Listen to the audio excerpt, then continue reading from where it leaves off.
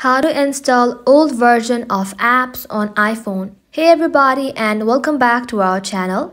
So let's get started without any further ado.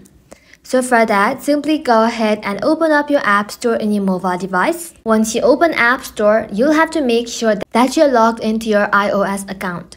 Now once you're logged in, you'll find your profile icon at the top right corner. Simply go ahead and tap onto it. Now once you're in this section, simply go ahead and tap on purchase history.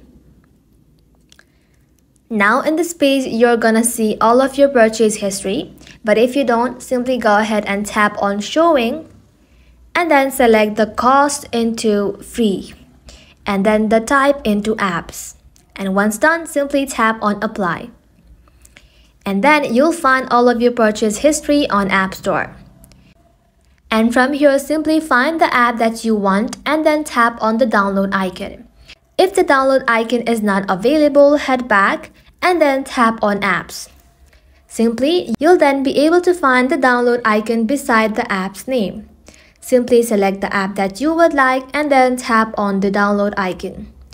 And with that, if an older compatible version is available, you'll then be prompted to download it. And that is it for today's video guys. Thank you all for watching the video till the very end and stay tuned until our next upload.